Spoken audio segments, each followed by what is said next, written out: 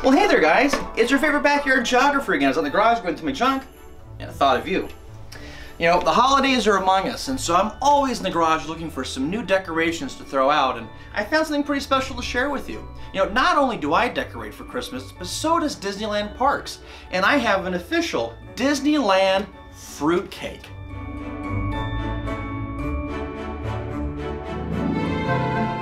So between 2013 and 2017, Disneyland Park did an overlay on top of the Jungle Cruise, known as the Jingle Cruise. Disney World still does it today. So these are some original props from the Jingle Cruise. So what's kind of interesting is that if you haven't seen it, essentially there's been lost Christmas cargo found throughout the entire Jingle Cruise itself.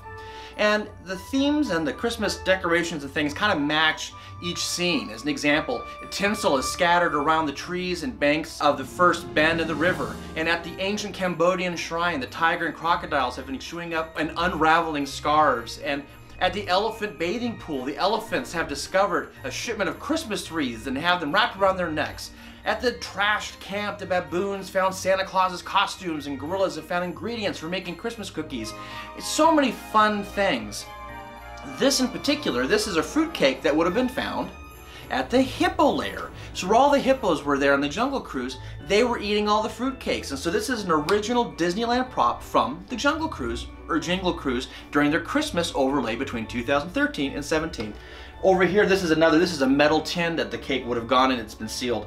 But I just think it's so much, I don't know, I think it's so funny. I was able to acquire this not realizing what it was, specifically to put under my Christmas tree, because I figured this is probably a real fruitcake, because no one ever eats them anyway. And then seeing that, you know, itself is completely solid, it's been hand painted and detailed, I love the pineapples on top, and I just thought this was something really unique and different.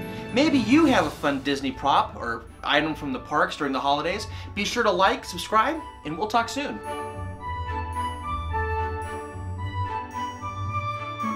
Happy holidays and Merry Christmas from all of us to all of you, and thank you.